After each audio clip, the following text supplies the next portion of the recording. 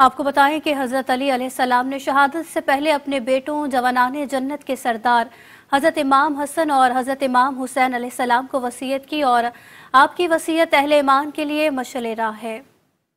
आज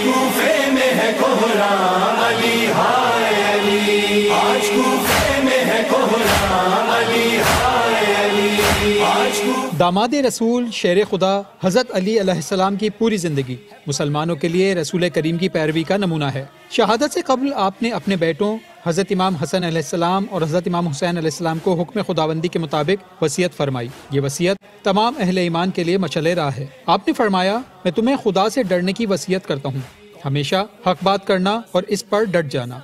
नेक अमल सिले के लिए नहीं, सवाब के लिए करना। जालिम के मुखालिफ और मजलूम के मददगार रहना। बाहिमी ताल्लुक को इस्तवार रखना।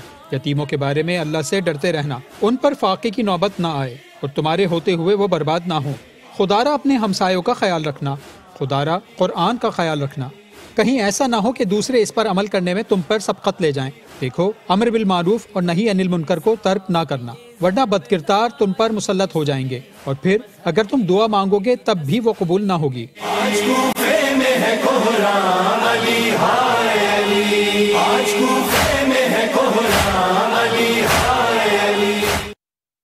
और अभी एक